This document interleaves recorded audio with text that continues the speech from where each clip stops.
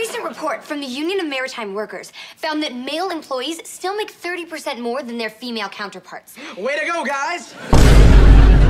Let's shoot for 40.